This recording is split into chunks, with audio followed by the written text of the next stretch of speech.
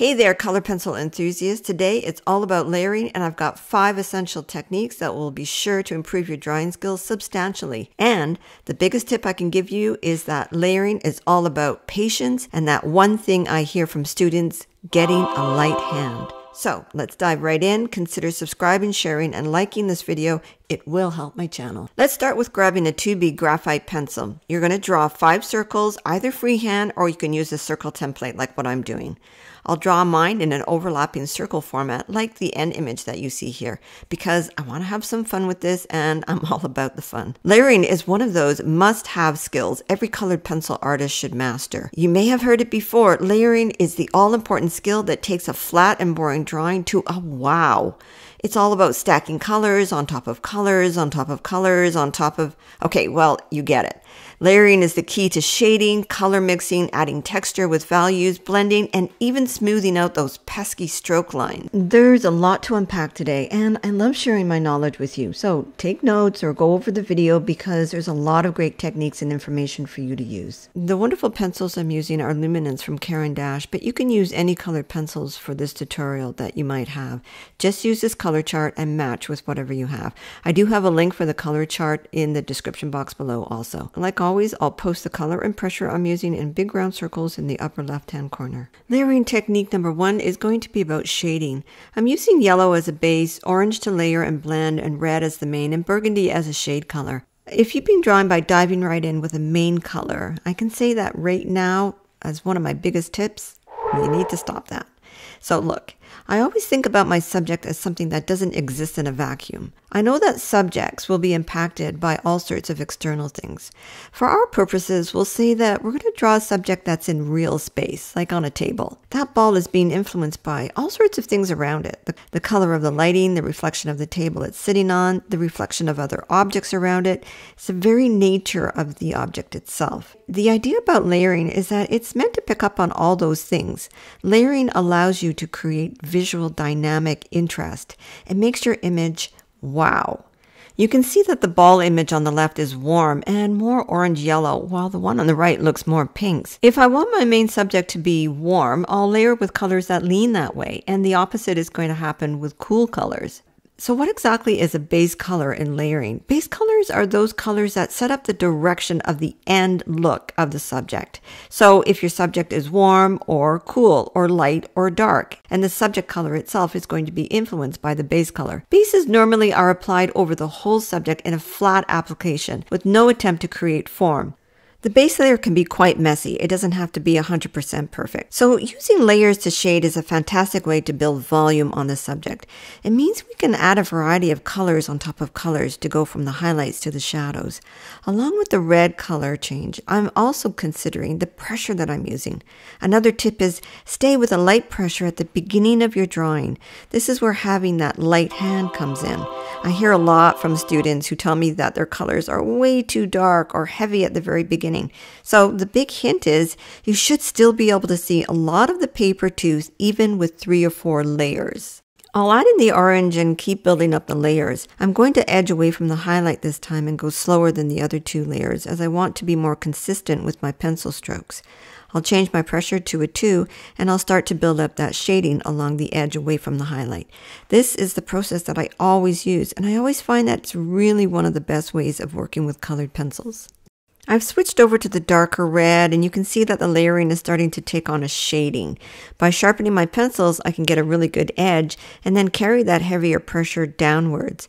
Remember, our subject's main color is red, so we want that to be the dominant color. The layering allows for a mix and creates a consistent new hue.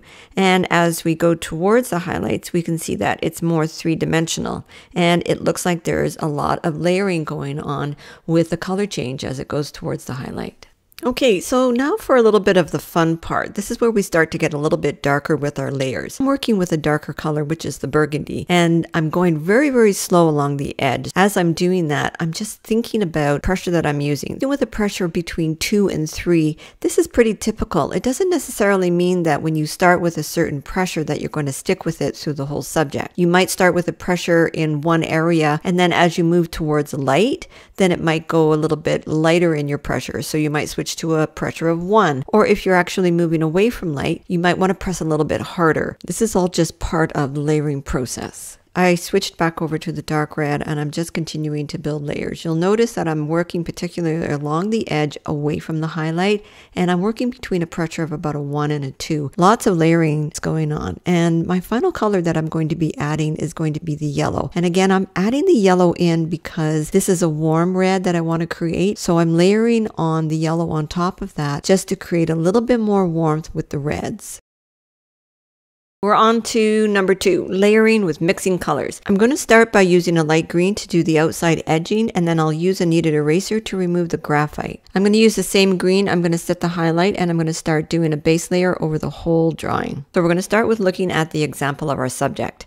We want to achieve a color and effect that looks similar to what we see. I'm layering in the base layer fast, a little bit loose and uneven, light on the pressure, and there is no need to go too dark right now. We can always go to the dark side when we add more layers in the mix. In this circle, we're creating a two-tone effect. Often with a subject like this funky AI blueberry, you'll have a flow of one color into another, two separate colors coming together. Once we finish this base layer of this light green, we're going to start adding another layer of a little bit darker green. This is a green that looks a little bit more on the brown side. To get the mix to work successfully, you'll need to pay attention to the colors that are sitting beside each other. If your colors are analogous or adjacent or tertiary, then the colors can mix with no problem, similar to what we're doing on our subject. If, however, your colors are complementary or a combination of three primary or secondary colors, as an example, your colors will look muddy if they're mixed. You fix this issue by simply bringing the colors up to each other, but don't really mix or blend them. I guess you could say it's a type of faking the mix.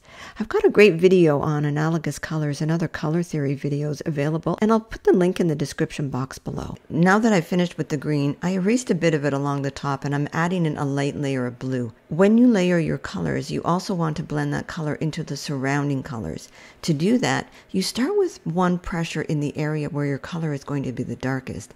Then fade that color out to the other color with a lighter pressure or that light hand. The transition between one color to another should be smooth with no lines in between them. Not only is this technique used in color mixing, but in all your layering work.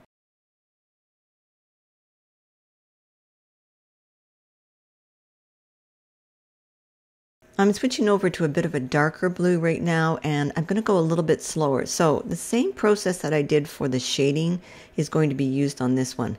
And as mentioned, I'm just trying to mix my colors together. So this is about layering for mixing colors.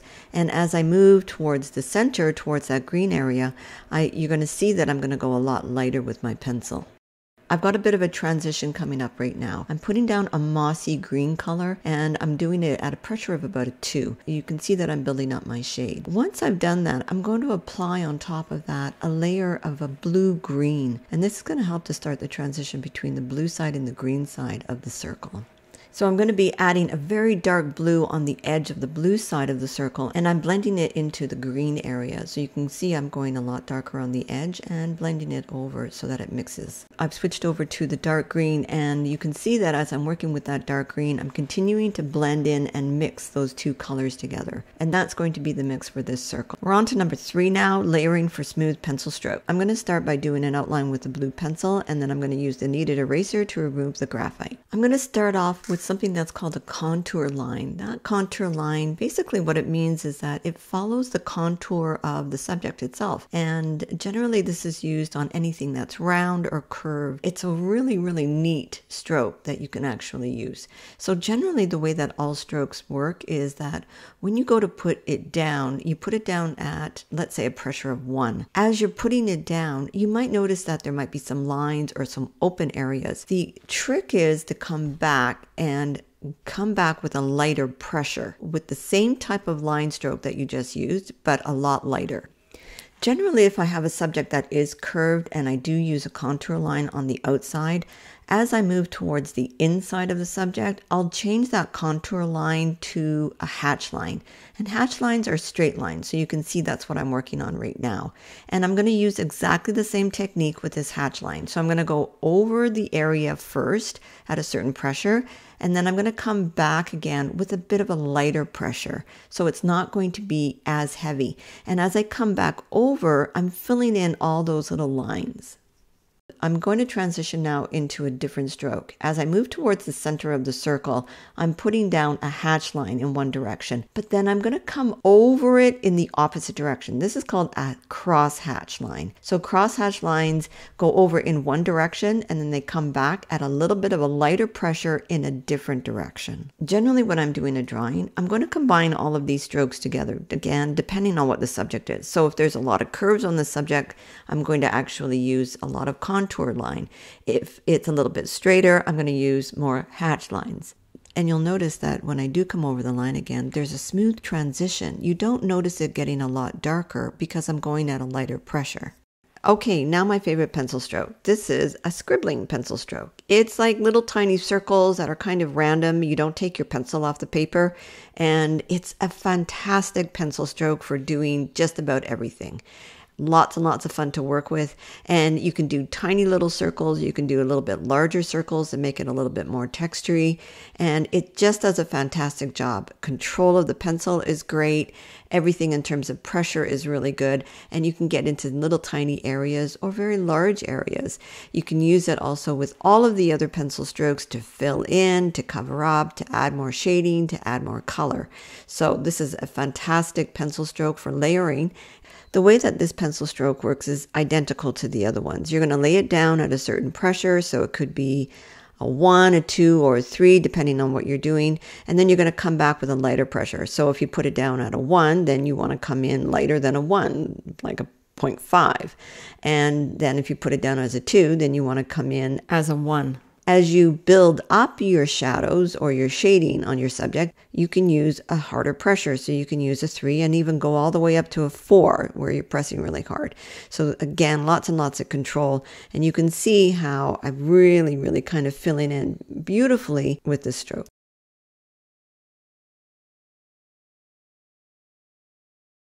My final application of color on this is going to be a dark blue at a pressure of about a 2 or a 3 and I'm combining all of the different strokes together to smooth it all out.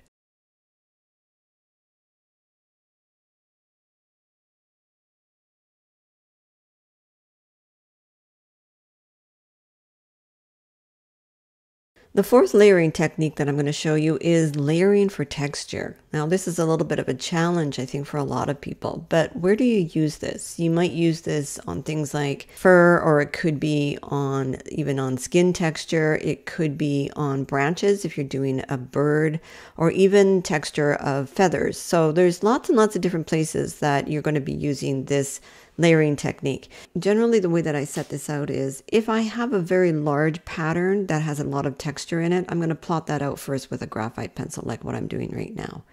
Then, what I'm going to do is I'm going to come in and I'm going to emphasize certain areas of that textured area. And I might be coming in with a quite a dark pencil to do that. This circle's main color is orange. I'm going to be working with colors that are analogous to orange and deeper hues to create the texture of the subject. When working with textures, you should always consider laying down your darks first. Like this tree branch, for example. Along the bottom of the tree branch, I applied a layer of the darkest color I had.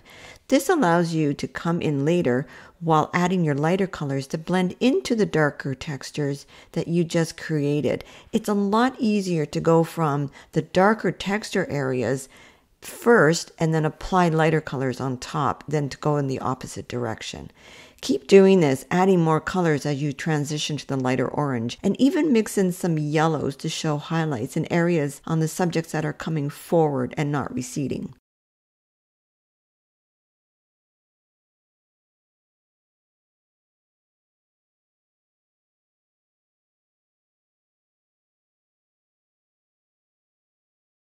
As I continue to work on the textures, I'm going to be bringing in some medium red to go over some of the burgundy and develop the shadows and to make sure that I'm not going so dark around that highlight area at the top.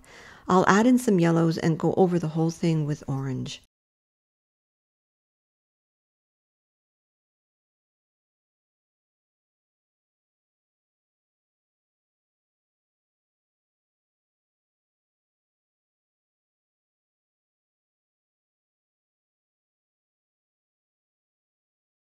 The final two circles are going to be about layering for light versus dark, and they will be treated the same way, but in reverse for the color layering. The way that I layer for lights or dark subjects is different.